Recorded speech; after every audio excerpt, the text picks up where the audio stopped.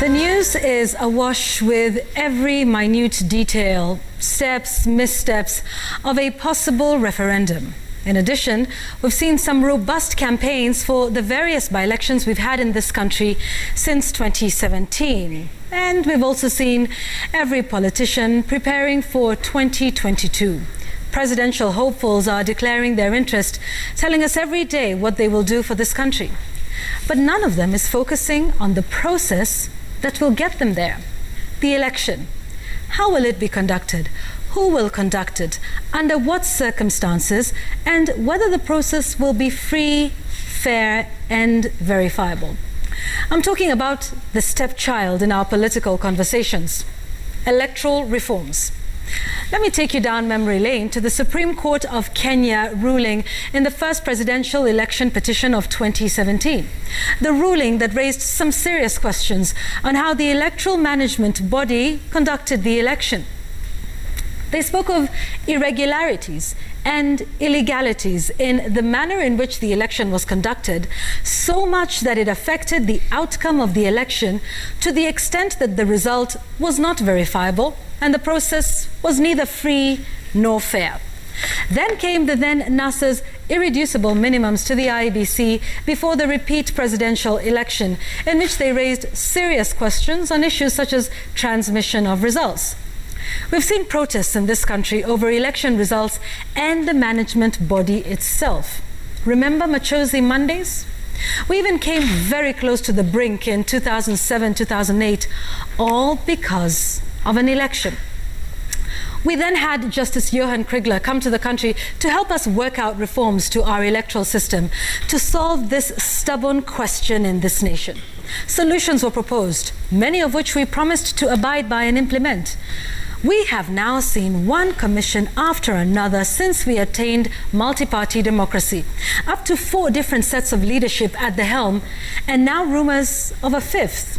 Of that, we shall see. Now let's even come back a little closer to the present day.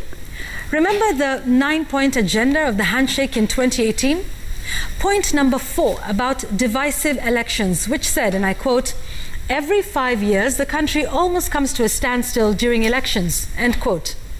But yet, how much energy, effort, discussion have you seen deployed to this issue of electoral reforms?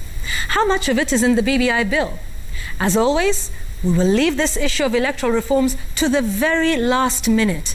And even then, most of what we may see will be a clamor to change the commissioners as opposed to routing out the whole system, overhauling it, and putting in a new one. The referendum is neither here nor there for now, but either way, it seems we're going into another major election without having addressed the issues that were so well elucidated during the presidential petition at the Supreme Court. So we're now going into another major election with a commission which can still conduct it, but is still not at optimal performance level.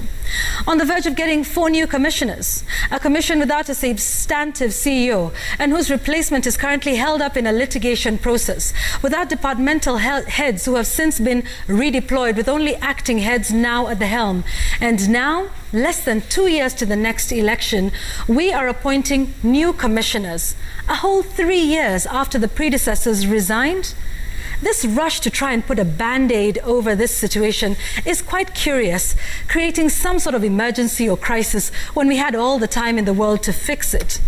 It is curious at best, intentional at worst, and it brings to mind the saying that the system is not broken, it was made to work this way.